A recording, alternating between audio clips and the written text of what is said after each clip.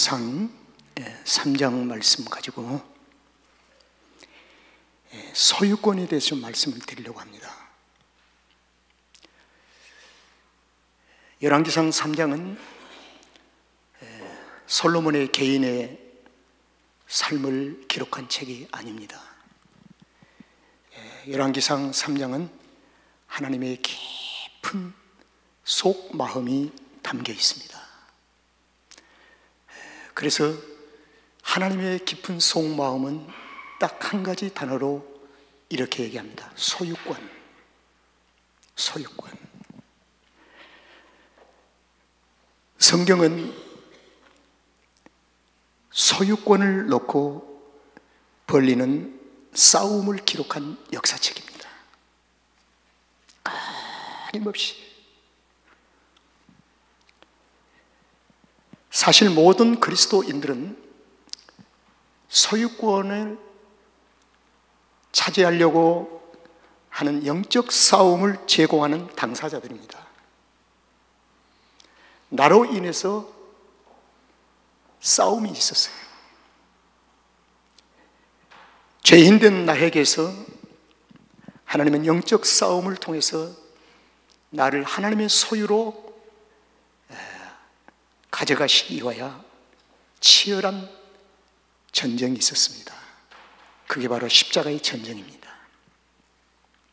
십자가에서 흘리신 못 박이신 예수 그리스도의 그 치열한 영적 싸움으로 인해서 우리는 하나님의 소유권으로 우리의 삶의 전체가 이동이 되었습니다.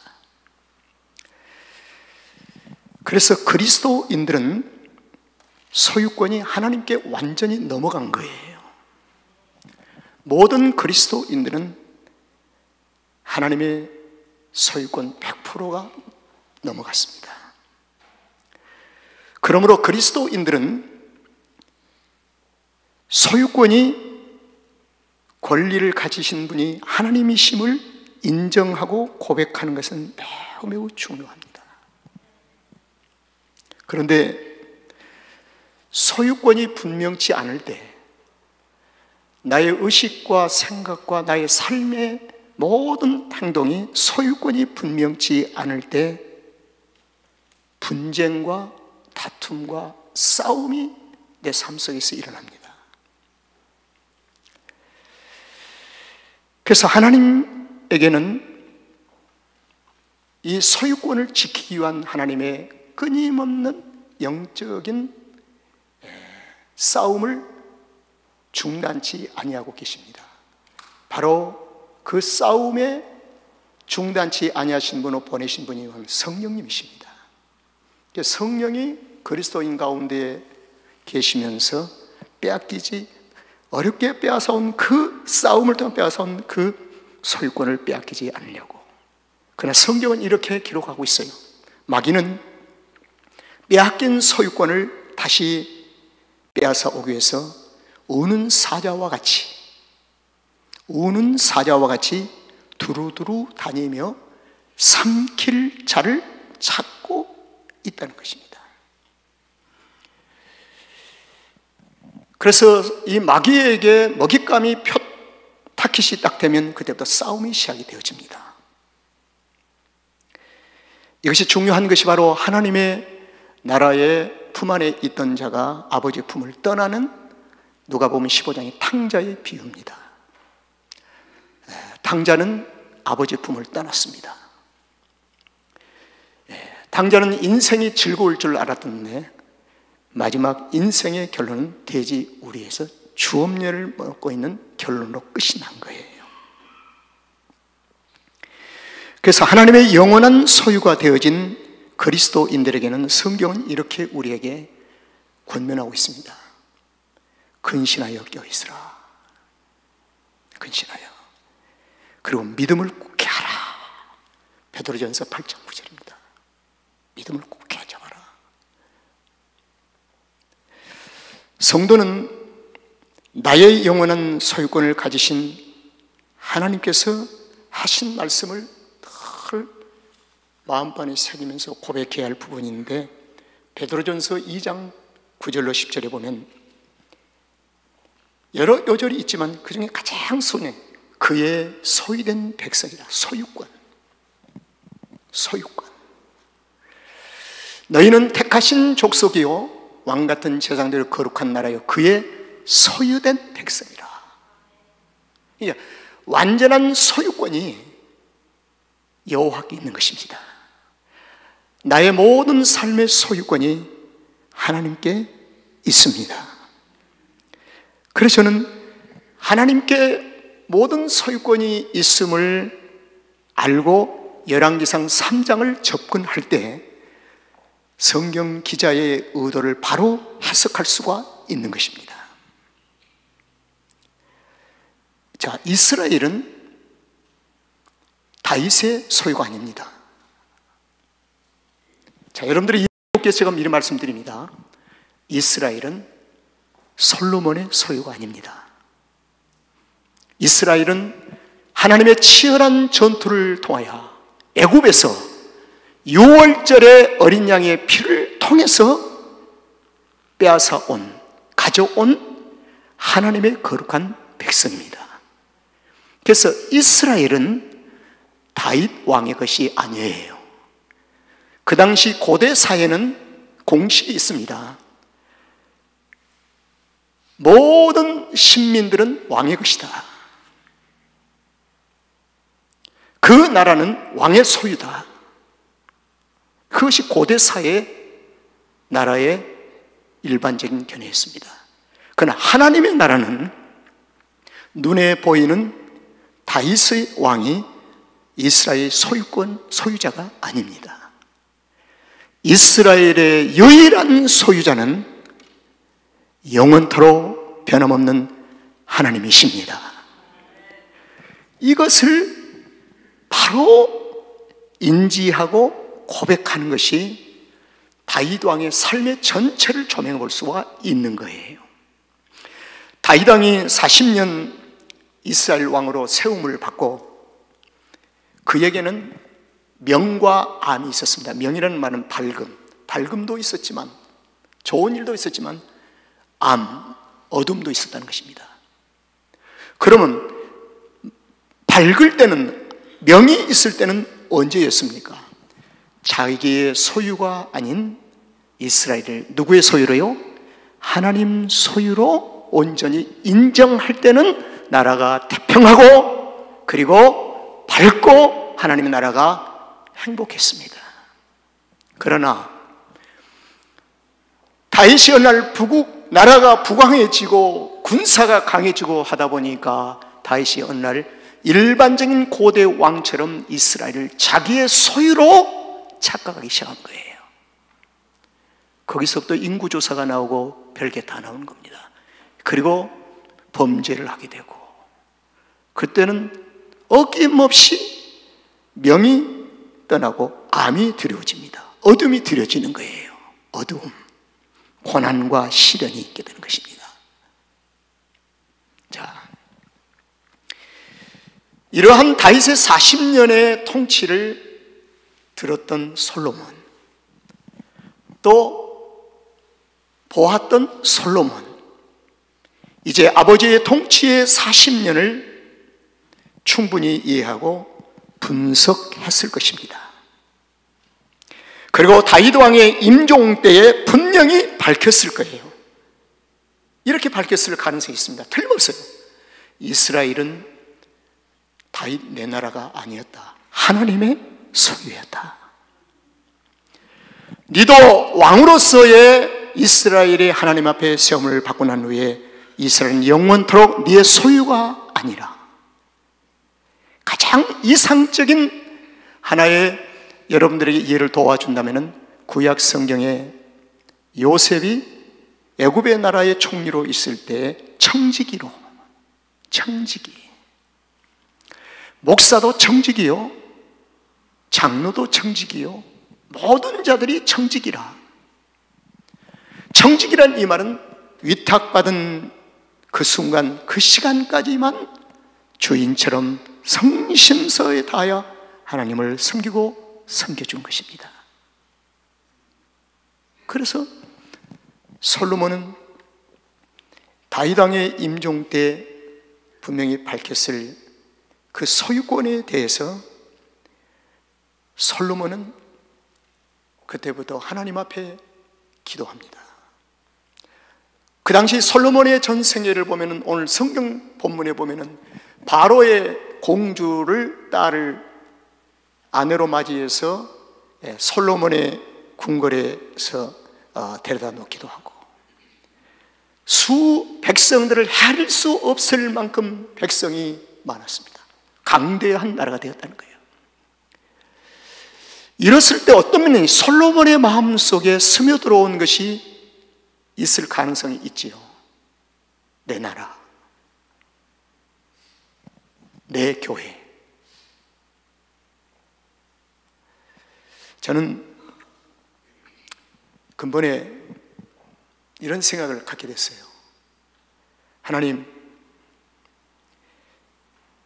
제가 교회를 섬기는데 2천명, 3천명, 5천명을 이민교에서 섬기는 교회로 그 당시에 성장을 했다면 어쩌면 지금쯤 나는 틀림없이 밝음이 아니라 어둠의 그늘 아래서 내 소유로 생각하고 내 것으로 생각하는 그 오만과 자만심에 가득 찼을 것이라는 사실을 보게 됐습니다. 그래서 너무 감사했어요. 너무 감사했어요. 너무 감사했어요. 내게 주어진 이 형편을 정당화시키고자 하는 의도는 전혀 없습니다. 사실이 그렇습니다. 사실이 그랬어요. 아직도 만삭되지 못해서 태어난 자 같은 이 부족한 사람이 틀림없이 교만해졌을 것인데 교만은 무엇일까요? 하나님의 소유권을 100% 인정치 아니하는 것에 대해서부터 시작이 되지 않습니까? 나의 나된 것은 하나님의 은혜로 된 것이라는 이 사실을 정직하고 깊고 넓게 고백할 수 있어야 하는 것입니다. 단순한 입술의 고백이 아니에요. 그래서 그래도 솔로몬은 준비되어진 사람 같아요. 그는 기브온 산당에 올라가서 기브온 산에 있는 하나님 앞에 드리는 산에 올라 제사를 드린데 거기서 일천 번제를 제사를 드립니다. 자, 일천 번제가 우리에게 던지는 영적인 의미는 무엇일까요? 하나님을 향한 온전한 삶을 고백하는 상징적인 의미가 있습니다. 그리고 두 번째로는 번제는 자신을 부인하는 것입니다. 완전히 자신을 부인해버린 것이죠. 예수님이 십자가에서 번제물로 죽으실 때 자신을 완전히 부인해버린 것입니다. 하나님 자신을 전적으로 부인해버리고 완전 죄인처럼 십자가에서 갈갈기 찢겨지시는 거예요. 번제. 그리고 하나님을 전적으로 신뢰하는 것입니다. 그래서 일천번제의 제사를 드리면서 마치는 그 시간에 하나님이 기부원에서 솔로몬의 꿈에 나타나셨습니다. 꿈에 나타나셔서 하신 말씀이 내가 내가 솔로몬 네게 무엇을 줄고 너는 구하라. 구할 것까지도 던지시는 주님. 하, 참 놀라운 일이었습니다. 이게 성령의 사람의 아름다운 모형이 아닐까요? 나의 의지로부터 나오는 것을 구하는 것 이기 전에 구할 것까지도 주님이 던져주시는 하나님. 이건 일천번째 제사의 삶의 의미가 상징적으로 갖는 것은 하나님을 온전히 신뢰하고 향하고 있다는 삶의 고백이었습니다. 따라합시다. 내가 네게 무엇을 주고 너는 구하라. 그때 솔로몬이 뭐 자세하게 예, 여러분들이 성경을 읽고 오셨기 때문에 예, 아직 한번 7절로 넘어가 보겠습니다. 아버지의 다윗의 위를 이어 내가 왕이 되었지만 왕이 되었지만 종은 작은 아이입니다. 여러분, 그 당시 솔로몬은 작은 자가 아니었습니다. 이미 바로의 모든 조공을 가져오고 바로의 공주를 아내로 맞아들이기도 하고 온 천하가 지금 솔로몬의 왕국을 바라보고 있는 됩니다. 그때 솔로몬은 격식에 맞지 않을 만큼 자신을 종은 작은 아이라고 표현하는 것은 솔로몬의 현재 1천번째 제사를 드리는 그 삶의 생활 속에서 번제의 삶이 바로 나타나고 있다는 것입니다. 번제. 그렇습니다. 번제가 깊어지면 자신을 작은 아이로 고백하게 됩니다. 번제가 깊어지면 자신을 겸손으로 고백하게 되는 것입니다. 그러나 설익은 번제, 타다 남은 번제가 되어버린다면 자신을 작은 아이로 고백할 수가 없습니다. 자, 그리고 이어서 하는 말이 종은 작은 아이면서 출입할 줄 알지 못함. 왕으로 어떻게 할 줄도 모르겠습니다. 나는 낙띵 정말 모르겠습니다. 지금 솔로몬이 하는 얘기입니다. 그리고 8절에 가서는 더욱더 중요한 한 요절을 우리에게 제공해 주고 있습니다. 주께서 빼신 백성 가운데 있나이다. 나도 주님이 빼어 오신 백성, 이 백성의 근원을 찾아가 봤더니 애굽에서 유월절을 통하여 이 백성들을 하나님이 불러내신 백성. 그 가운데에 나도 한 사람. 모든 이스라엘이 내 것이 아니라 그 중에 나도 한 사람입니다. 여러분, 저는 이번에 여러분들에게 제가 카톡 보내드린 내용이 있는데, 아, 목사 이전에 성도가 먼저 돼야 되겠다. 어느 날부터가 성도가 아니에요. 목사만 있는 거예요. 그러니까 가리키려고만 합니다. 들으려고 하지를 않아요. 말씀도 보지를 않아요. 기도 생활도 없어져 버려요. 말씀은 설교를 위해서 말씀을 읽고, 기도는 설교하기 위해서 기도하고, 내 자신을 가슴을 찢는 말씀과 기도의 삶이 사라져버린 오늘날 이 시대의 모습을 종종 우리는 봅니다. 그렇습니다.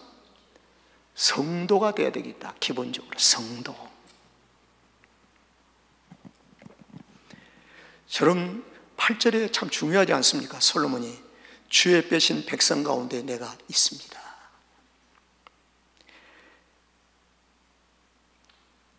구절에서는 더욱더 선명하게 우리에게 하는 내용이 나옵니다.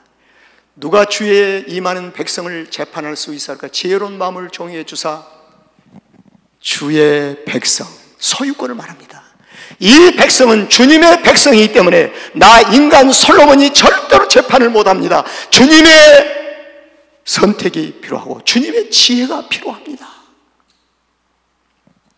선악을 분별하게 하옵소서.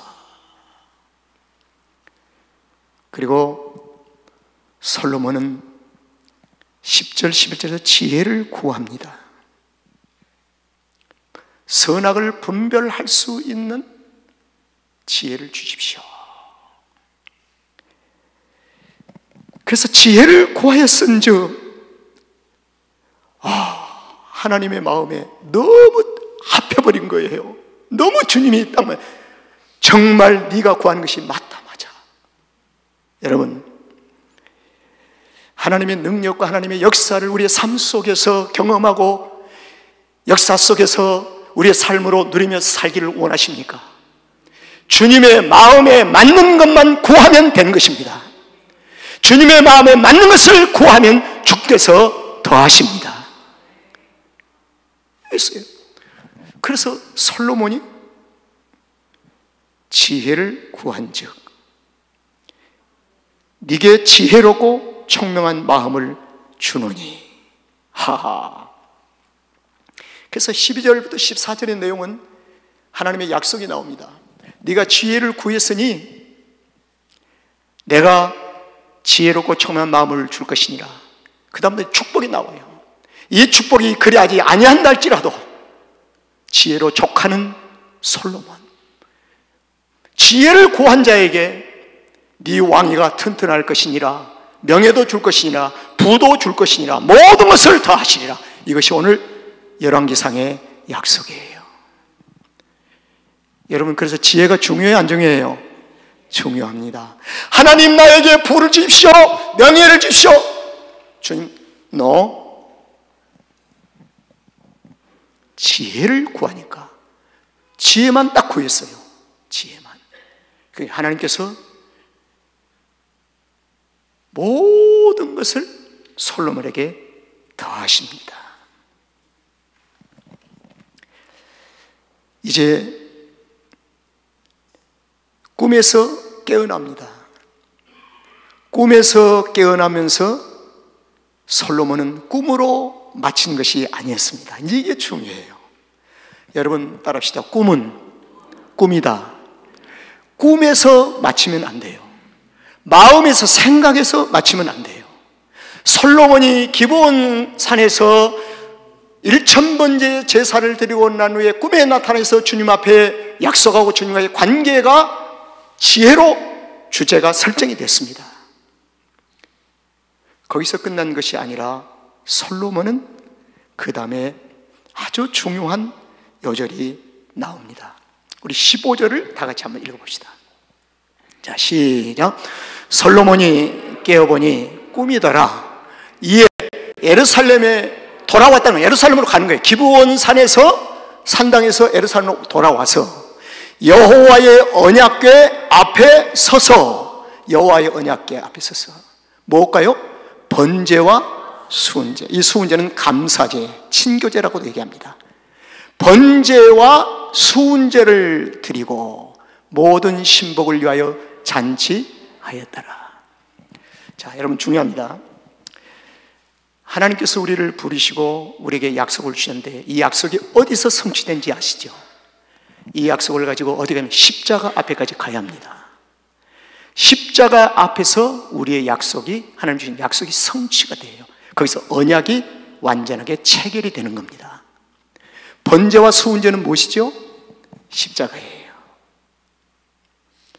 예수 그리스도의 번제와 화목제, 십자가 앞에서 솔로몬은 언약을 이 완성이 됩니다.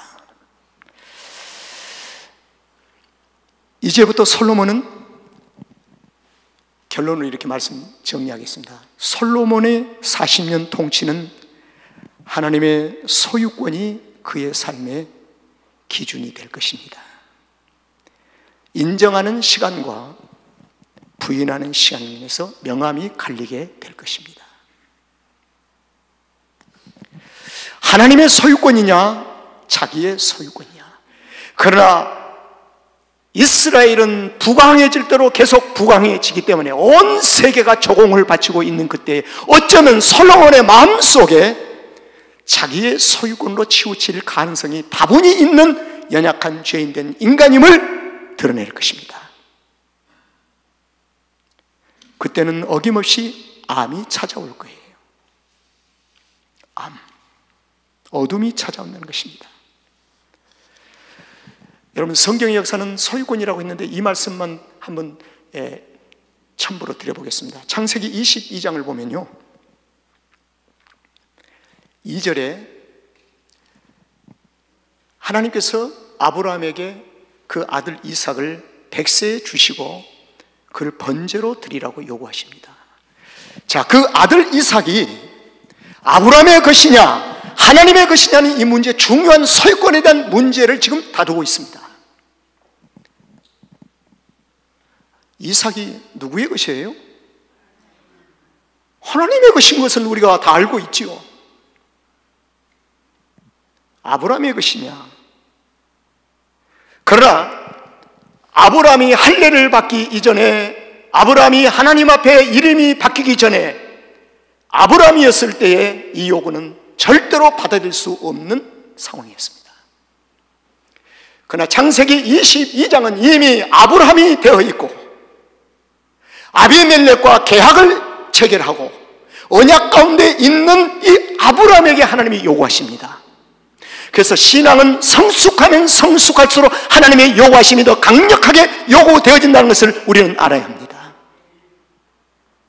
목사에게는 더 강력한 요구가 있습니다.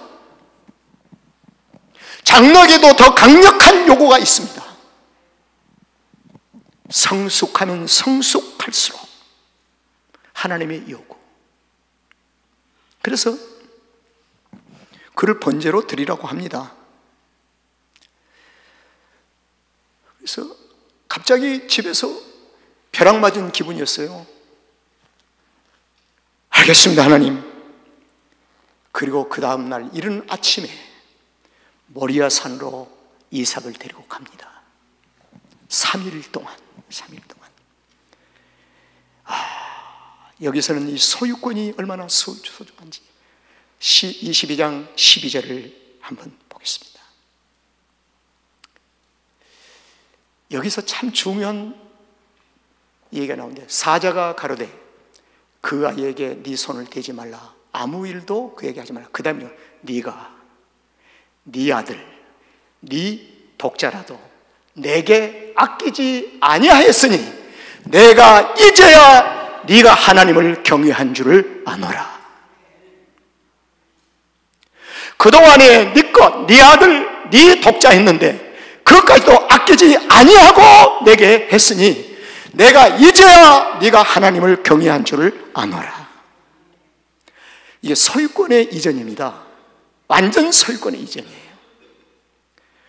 소유권은 아브라함의 집에서 소유권을 이전할 수가 없어요. 어디서만 유일하게 소유권이 이전되는 것은 십자가 있습니다. 그래서 모리아 사는 장차 이 땅에 임할 메시아의 십자가의 사건입니다. 그래서 모리아 산에서 번제로 아들 이삭을 올립니다. 마지막 잡으려고 할 때 아브라마 아브라마 손대지 말라. 그리고 뒤를 돌아보아라. 어린 양이 있었습니다. 그래서 어린 양을 가져다가 그래서 이삭과 어린 양은 골고다의 십자가의 사건이에요. 저와 여러분은 어디서 소유권이 하나님께로 이전된 줄 아시죠? 십자가에서 이전된 줄로 믿습니다. 십자가에서 이전됐어요. 말씀을 예, 이렇게 한번 정리하며 맞춰드리겠습니다.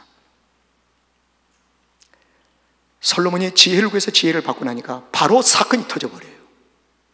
두 창기가, 두 창기가 창녀죠. 창녀가 다윗에게 찾아옵니다. 거기서 사건 알잖아요. 두 창기가 3일 차이로 아이를 낳는데 같은 지붕 안에 사는데 한 창기가 저녁에 잠을 자면서 아이를 잘못해서 눌러서 죽었어요. 그러니까 죽인 그 엄마가 그 죽은 아이를 데리고 방 건너편에 있는 다른 창기에게 그 낳은 아이와 바꿔치기를 한 겁니다. 이 사건은 분쟁이 있어요. 서로 내, 내 것이다, 내 것이다, 네 것이다.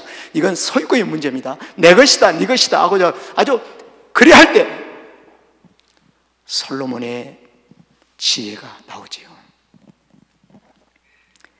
저는 여기서 자세하게 말씀드리지 않겠습니다.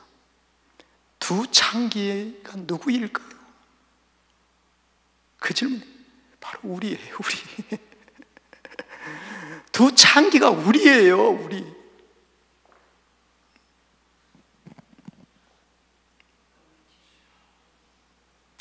죽은 자가 내 것이 아니래요.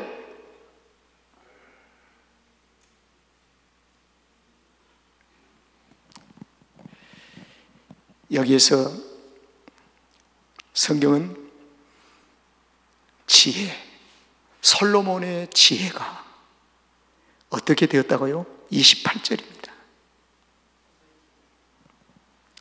온 이스라엘이 왕의 심리하여 판결함을 듣고 왕을 두려워했으니 그 다음에 다 같이 시작 이는 하나님의 지혜가 저희 속에 있었다.